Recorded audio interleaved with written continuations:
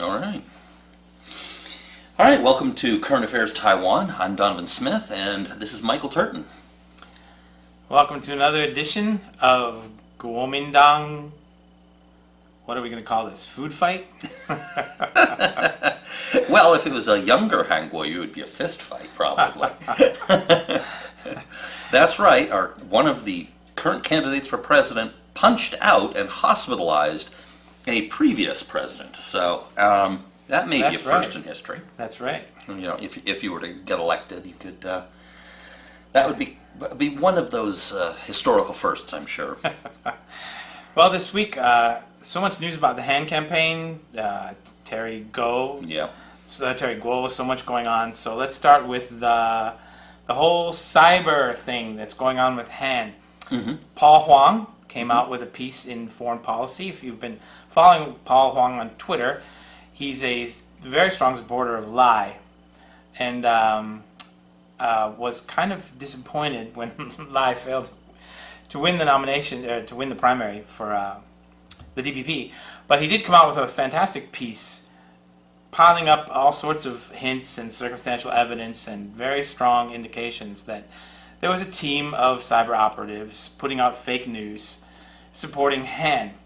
And Donovan pointed out, hey, wait a second, we were talking about this, what? Last Back fall. in November, yeah. Last November. The line groups. the line groups, um, line followers. Uh, this is something that, that I picked up and I wrote about in an article in the News Lens last fall. Um, and there was a it was a TV, you know, one of the TV news shows, um, and I think it was CTI. Probably it was CTI. It was um, it was talking about Han's growth, and this was during the local elections last year. And I noticed there was a, a, a it was a pro Han uh, woman speaking, and she was talking about how uh, Han Guoyu, his line supporters, line friends, uh, was growing very, very dramatically. And so I was looking at her numbers, and she's like, and then you can see at the beginning of September, and, uh, you know, I mean, I forget the exact time. She's like, you know, on this day it went up by 2,000, went up by 3,000, and then she abruptly jumped and say, and now he's got more supporters than Ko Wen-je. That was sort of her, her the gist of her, her point. But I was looking at the numbers on the screen and I realized that they went from 200,000 to over 300,000 in a single day. Now, whether that's coming from China or his campaign bought a bunch of supporters or where that was coming from, we don't know. Um, but the other thing is is that in the same article, I also cited some uh, quotes from, which I believe you have the quotes, I think we do. uh, uh, from the Taipei Times, again, also last fall. Yeah, here we go. The phenomenal rise of Han from cyberspace to the real world is a case in point for what web brigades could achieve by manipulating public opinion and using psychological warfare techniques, the source said. Apparently, these uh, Han followers had come from other countries. Yeah, it was like Venezuela, Yeah, uh, right. Russia, Ukraine. People posting comments on his Facebook. Yeah, yeah. and they were all IP addresses uh, scattered around the world. So it was a little bit odd that you know, I, as far as I know, Han Guoyu does not have a big Venezuelan fan base.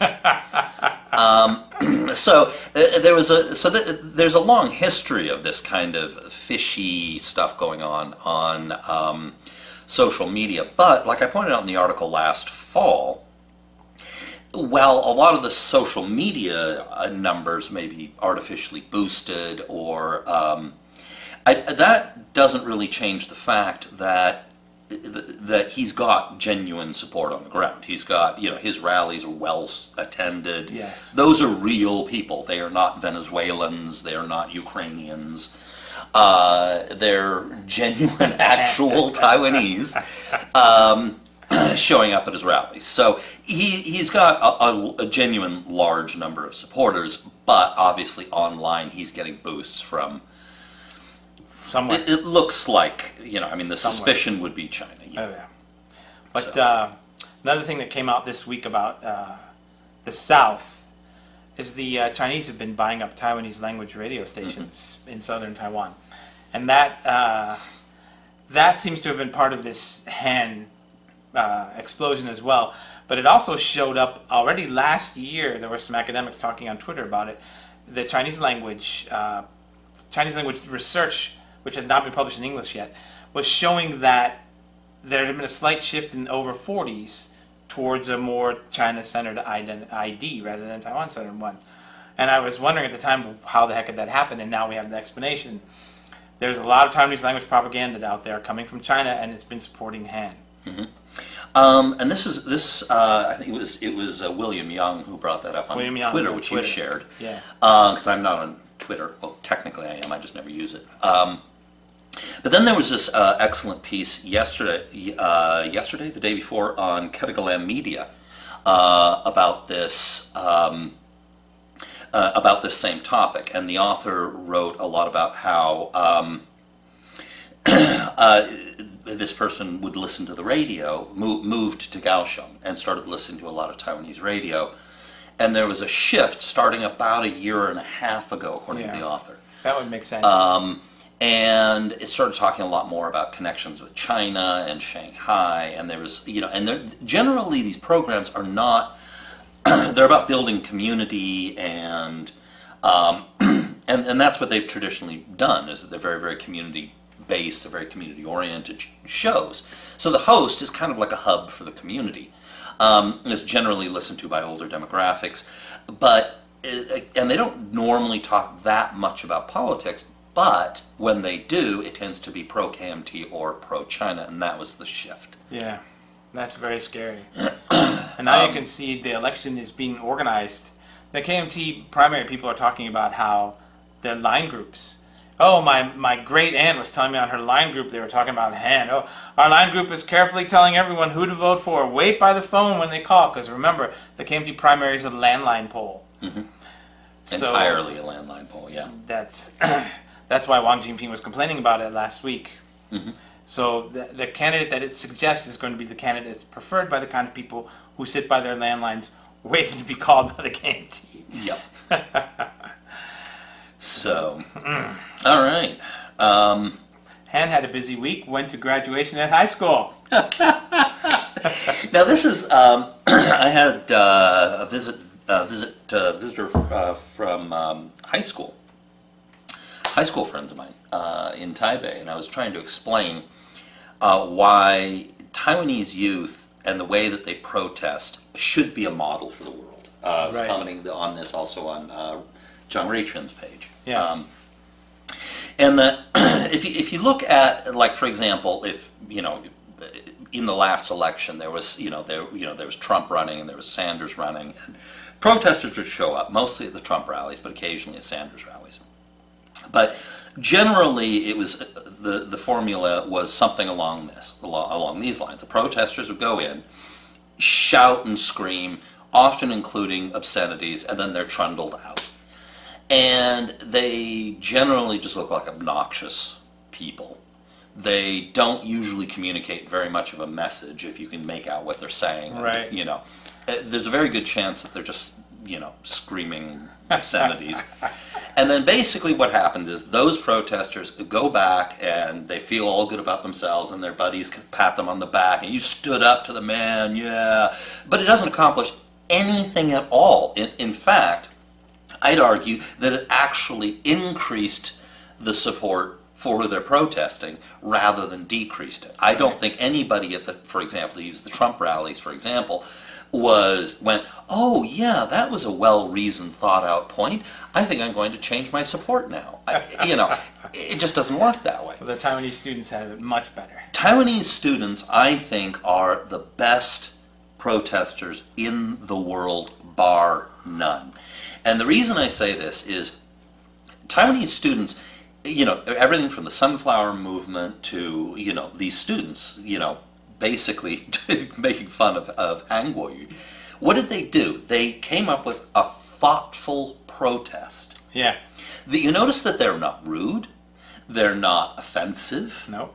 they made, but they made a clear and cr- uh, point using creativity. Like there was that one uh, student, and she had her diploma, I think it was, or an award or something, and then she folds out two pieces of paper. Uh, and I can't remember which one of the slogans it was, but it, the slogans are generally along the lines of "Keep your promise" and Yeah. "Stay as mayor," "Don't run for president," "Don't lie." Um, but these were these subtle and creative. There was another student, she'd made kind of like a sash Right. with circular. I mean, And the student with the book, Why Do You Love Lying? yeah, why do you? so these are these students are both they're they're not rude. They're not shouting. They're well behaved, well comported. They send a message that is thoughtful and creative. The press eats it up, and people actually give it some thought. Yeah. And I think that, you know, I don't know how many people it sways, but it's got to be a lot more effective than, you know, than, than the way that, you know, we Right, protested in our, in our Right. Now, I'm not saying that Taiwan it, traditionally was very much like overseas. I mean, after all, Taiwan became famous for fighting in the legislature. So, you know, that old school kind of, Well, it- but it seems like protests in Taiwan have evolved Yeah. Whereas they're not evolving in the US or in Canada or in Europe. It's still the same old shouting at the top of your lungs, nobody Right. listens to you Right. except you're basically just preaching to the choir is really all that's happening. But the Taiwanese students, their creativity in getting their message, and the press eats it up. Yep. And it's indicative, I think, of how Han has fallen. Mm-hmm. The press, not only is the press eating this up, but it's but these students can just walk out on stage and do this to him. Yeah. And they don't feel like that he's some god whom they must respect. Yeah. So it's it's really good to see that. Yeah. what else happened with Han this week? The police showed up, yes. knocking on his door. I expect this is gonna be the first of many. Okay, so he was previously the Taipei Agricultural Produce Marketing Head or something, Something, yeah. yeah. He's a director of essentially it's a it's a it's a quasi state owned. It's cooperative. It's a cooperative, but it's large. It's like a, a large percentage of it is owned by the Taipei city government. Right. And so this is Han, Han Guoyu's job uh, before. So he was Dan Han, the cabbage man, um, before. And that's why you see a, a, a lot of his uh, pictures and a lot of his campaigning, he pictures himself as a businessman. Right. Well, this really wasn't a business. It was a a state-owned and quasi, it's a quasi-state company. Right. Um, but that's why he always has those cabbages in in his um, his uh, campaigning. And in fact, my very first memory of him was him with these with his um, his hand, and he he like sprawled himself over this giant mound of cabbages. The KMT. And the funny thing was, because it was it was that image when he was running for the um, KMT chairman. KMT chairman. Yeah. And so, of course, I looked at his name, Han Guoyu, and the first thing I thought, cabbages, Han Guoyu. And I thought, and my nickname for him was Kimchi. Kimchi. Immediately right there. It was just like, that was, you know, although now I'm going with Dan Han, the cabbage man. I, I like That's better. But, So uh, anyway. yeah. So, So the police, the pol- he's being investigated for it's only four million NT. It's like piddling. But according to the report, while head of this organization, Han created a leisure stress relief tour scheme derived from surplus revenue not included in the accounting records and without the approval of the board of directors. The report also alleges that Han personally selected the employees who received these travel abroad awards, which would represent a serious breach of trust. And this is from an article in what Taipei Times? yeah. Yeah, Or uh, this, actually, I can't remember. It was written about in the Taipei Times, CNA, and Taiwan News. I can't remember which one. yeah. So, and, And also his wife apparently got wife some of the funds. Got some of the, yeah. That's what they're alleging. So this is, a, anyway, this is a stress relief. stress relief tour. I need one of these. okay, so anyway, uh, hopefully this will all have a happy ending. Um, so The tour? Where exactly is it going? so okay, so uh, now it doesn't necessarily. This sounds tacky, misusing funds. It's it's probably business as usual in so many. I, I sus- yeah, that's kind of the feeling I got. Yeah. It, it may be technically illegal, but they tend it's dispersing perks to your buddies Right. when you're in a position of the, power and the key point here is that this isn't going to be the only one. Mm-hmm. There's probably more. So there might well be quite a bit more out there that we, we don't, which hasn't come to light yet. But anyway, so he's being uh, investigated now. Um, And then, of course, we have the three The fake three links. the fake three Woohoo! Ferry boats directly to Jinmen Yeah, or Xiamen. it was to uh, no, it was uh, Wenzhou or something. Yeah, Anyway, something like in that. China. Anyway, so here's a. Uh, this was organized by a shipping company with no ships that had closed a few weeks ago. I'd like ceased to exist, although they claimed that they were going to lease some boats. They claim that they're creating these these new cross-strait links to China without any government approval, which of course they have to be approved. and they brought all these people to their launch event for their non-existent, non-approved, uh, li- you know, th- links to China Right. And they claimed it was going to be at this wharf, but they actually held the event in the park next to it because they didn't really have the wharf.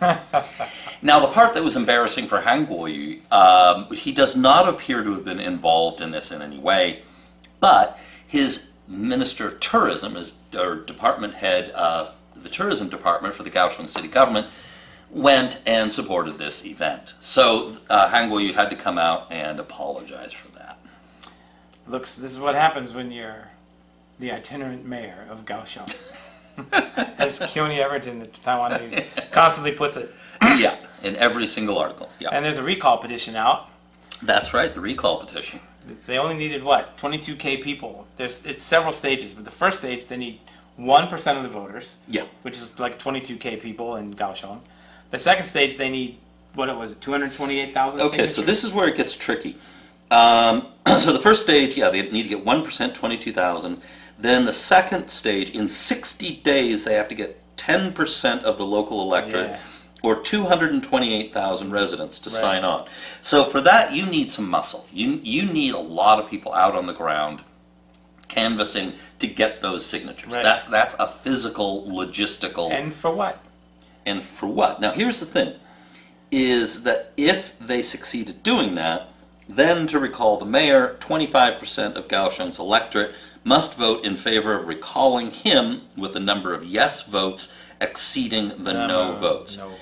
So now that is so this group here, We Care Taiwan, uh, estimates that they would need uh, 600,000 yes votes to. Uh, so it, it's it's possible. Uh, But- it's tough He's going to step down if he gets the if he becomes president. Yes. So so yes, if he gets a presidential nomination, which he may not, Mm-hmm. we don't know yet.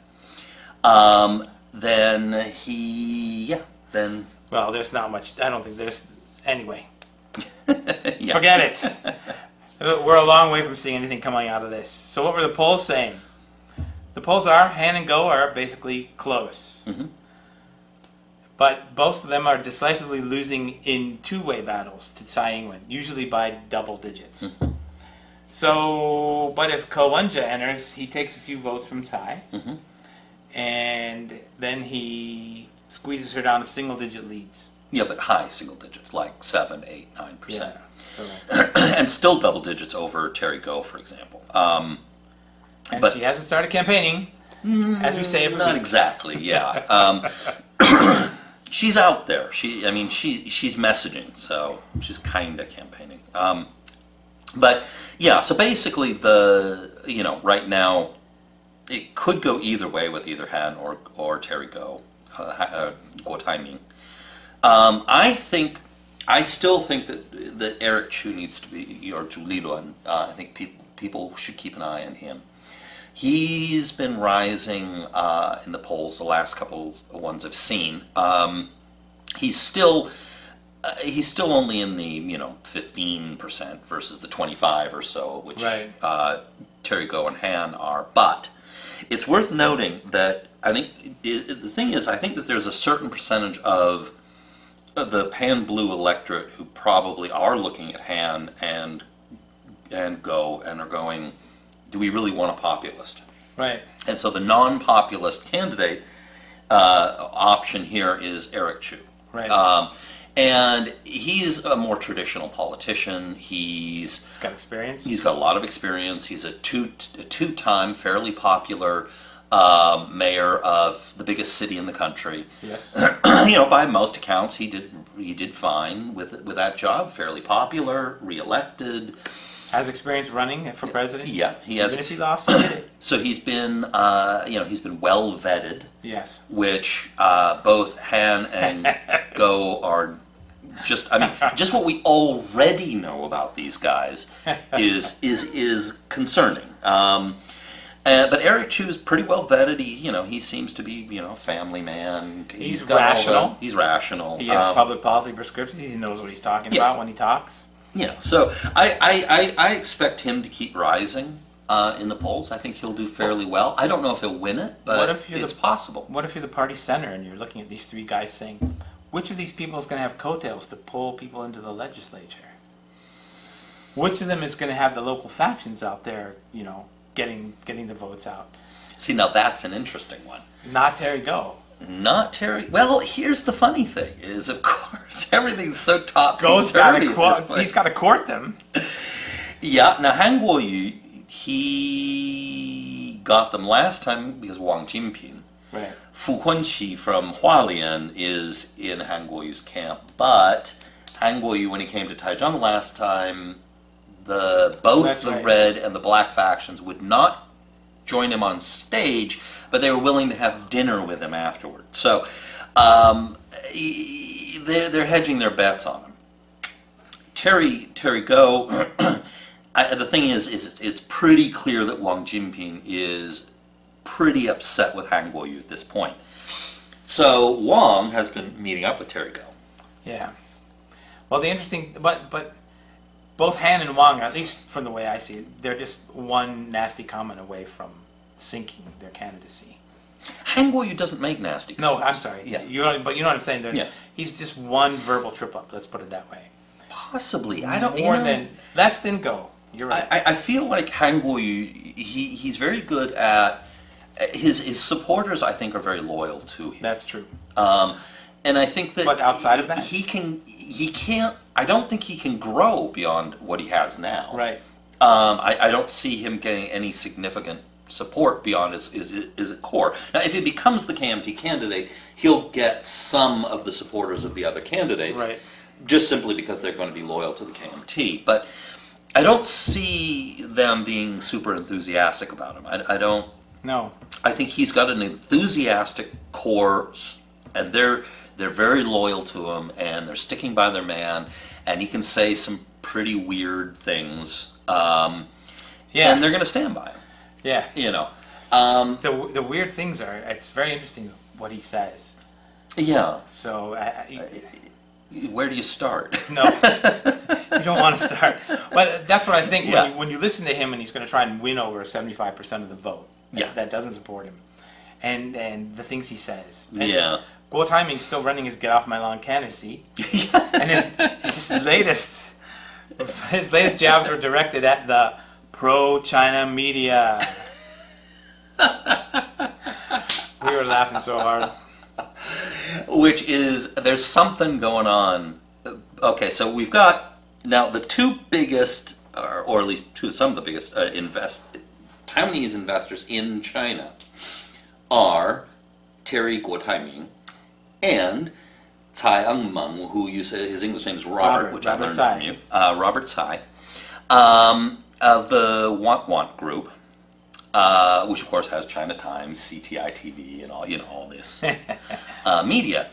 Now, obviously, there's some bad blood between these two, and I don't know why, what the history of it is, or it could be that the, the bad blood is is new, but basically, the Want Group media has continued their support for Han Guoyu.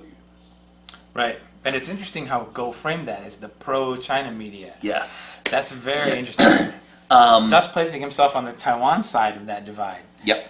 He's not a bad politician. No, he's not. He's actually been saying a bunch of things recently which are, are which makes sense for a politician. Yeah. But on the media part is of course now it's there's some chatter about UDN seems to be more pro Terry Terry Terry Gou. Terry Gou, Terry Guo. So we've got the Guo Taiming. uh, the the Pan Blue Media now, and so- which raises the question because we, we know that both of them make staffing decisions and a certain amount of their editorial decisions run it through Beijing. I mean that has been openly Right. stated by the National Security um, uh, Agency here in Taiwan. So.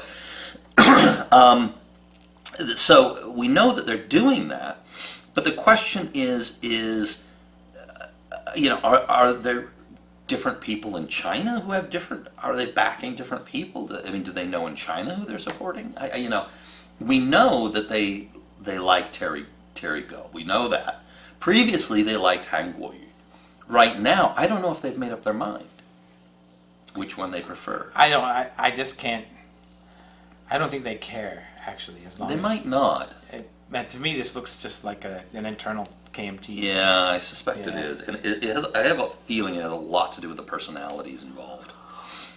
Um, so yeah, so right now we've got Robert Tsai is taking his want want want want want group, um, and is sticking it to Terry Gou. Uh, I don't know why, um, but for some reason, so now Terry Gou is refusing all interviews With want want people. Yes. with Want Want.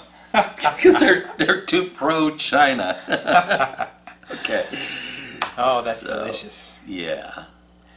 Well, All right. So what do we got? We got two more things here. that was the NPP. Yes. Well, we've got the five. Okay, the five candidates. Who were, Never, never mind. Yeah, all never mind. Um.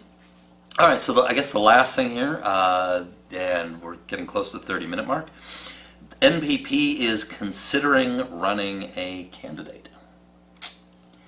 Now That's they're the going to new Power Party. That's the Yeah. that's the party of uh, Freddie Lim, the Mhm. Chthonic band leader, and Huang Guochang, and my own district, Tanzi. Yep. And mine Wow, is Hong Ziyong. Yeah. Huang Ziyong, yeah. Um. She broke my heart. She got married a couple years ago. I know to the to the head of the information department here in, under uh, Lin Jialong. Uh, which Huan met. He's a, he was a nice guy actually. Um, anyway, so she did well. You're He's just a nice breaking my heart even worse now. I know, I know. You know, you're a nice guy too. Um, uh, but yeah, so basically, I mean, the, the NPP is considering it, and it's the legislator Xu uh, is brought that up as a possibility. Um, and uh, he, he he's bringing this up. Um, Huang Guochang has already ruled out running uh, the the Taipei legislator. Yeah. Um, no word from Freddie Lim.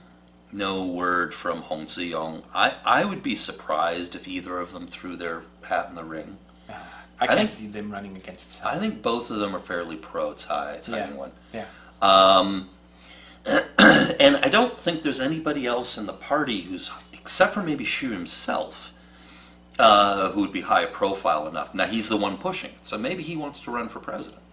Maybe. You know, I, I don't know. Um, my suspicion is they won't run with it. I think that's Not yours this well. election. No. I don't think it would be good for Taiwan. It would be good for them as a party. Yes. Um, they need the experience. Uh, it would increase their profile, Yes. Uh, and it would mean they'd have a, a candidate o- on the news all the time talking about their, Their party, policy, yes. their agenda. So for them as a party, I think it would be a very good move. Um, for the pan green pro Taiwan independence or pro Taiwan sovereignty side of the political equation, I think it would be a mistake for that. You know, politically, I it, don't it know. would it would damage because Tsai Ing-wen's she has really solid support amongst the young. Wen-je, who's our last topic here, uh, has uh, also very strong support among the young. Right. But that was really what tipped it for Tsai versus Lai Ching-te was that the young did not really support William Lai or Lai Ching-te in the DPP primary in a three-way race, including Ke Pi. But they did swing to Tsai Ing-wen. Yeah. Uh, and if the NPP ran a, a candidate, that would mean that some young supporters might go with Wen-je. They might go with the NPP. They might go with Tsai. And that basically that's the, the voters under 40 that would suddenly get, would have some, some serious thinking to do. Yeah. It would be quite interesting. It might it might even benefit Tsai if there's a lot of candidates Possibly. in the race. Which If brings Wong up runs. Yes, I- right. And Wang Jinping we'll runs. talk about Ke in just a second. Go ahead. Let's Um, talk about KP. Oh, just yeah. I mean, we, we, we might have four candidates. The- This the question is: Will this be a two, three, four, or five candidate Race. race? And by that I Right. mean ones that could get at least into the double digits. Guo Taiming uh, hasn't promised that he won't run if he doesn't get the nomination. That's right. And Wang Jinping has also not ruled out running as an Running independent. The NPP may yet run a candidate. Uh, you know, I don't think James Soong will, will try it again, but he did get 12, 13% in the last election. Maybe Hung Hsiu-chu will run for the new party. Because I want her back in the race. She's my favorite candidate. No, she was so I miss her so much. Uh, okay. So what did Ko say? Give us some. All right, so all right, so this is um, uh, there was that whole big Twin Towers investment, um, which previously had a trouble attracting bidders, but they really want to build these nice big twin towers, you know, ar- architectural showcase uh, in Taipei down near the train station, and finally, Taipei City finally found a bidder. The bid won these very dramatic. Uh, looking buildings. Um, now the problem is, is that this Hong Kong-based consortium is largely backed by Chinese money, Of course. and so the national government, citing national security, shut it down, um, pointing out that this is a major transportation and uh, communications hub Right. uh, by the Taipei main station. So now Ko Wen-je was not happy about this decision. So he said, "The way I see it, talk of national vision and national sovereignty are bullshit." He said. Ko was asked to comment on reports that his stance had changed since. Okay, so moving on down, he, he said, uh, he said, "It took me three seconds at the time." He's referring to an earlier decision. Uh, it took the Democratic Progressive Party five months. Asked if he thought President Tsai Ing-wen was behind the commission's decision, Ke said he did not want to speculate, but added, quote, if you want, wanted to invoke, invoke national security and sovereignty, you only need three seconds to make a decision. You do not need five months. Next time, they should find a better excuse, he said.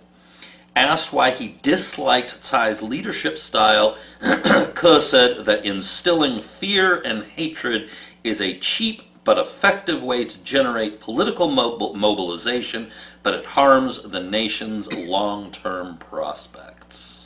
Do you think that sounds like the words of a man who is not going to run for president? I, you know, I've been thinking about this. He said before that, you know, when he was at the Ma, at the Mazu, Mazu pilgrimage in, in the Zhenlan temple, and he said he said he'd made he'd already decided what he wanted to do, but then he was trying to convince himself whether it was the right decision.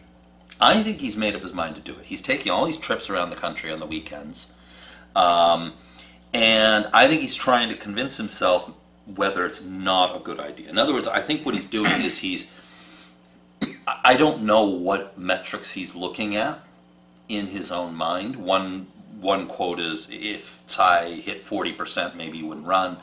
He's also come out and said, you know, I'm still waiting for the DPP and the KMT to convince me that their candidates could do a better job Yeah, running the country. he's said that. But he's flat out said, you know, he, he flat out clearly dislikes Ing-wen.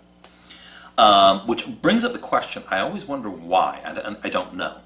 He's got a real beef with Tsai Ing-wen.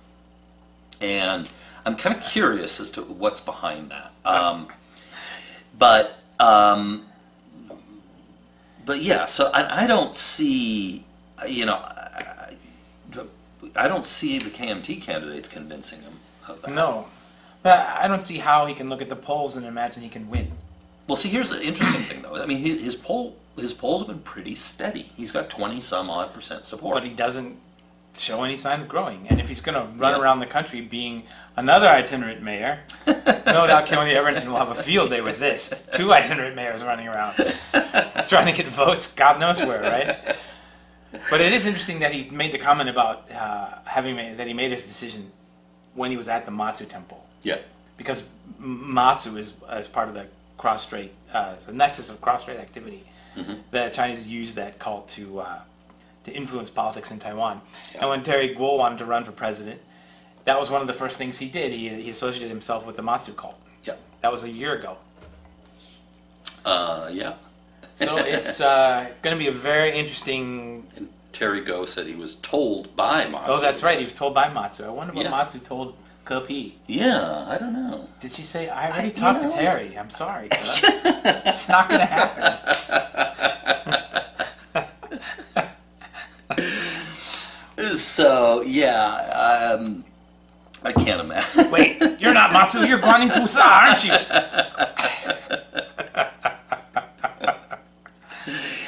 So yeah, I'll go. I, I kind of want to riff on the giant statue that's not there, but anyway, um, that's local Taichung politics. So Yeah. they- Well, so stay tuned. Our Yeah. multi-candidate election is is uh, going to be a lot of fun to watch. Yeah. The KMT primary is going to be a lot of fun to watch for the next couple of weeks. Definitely.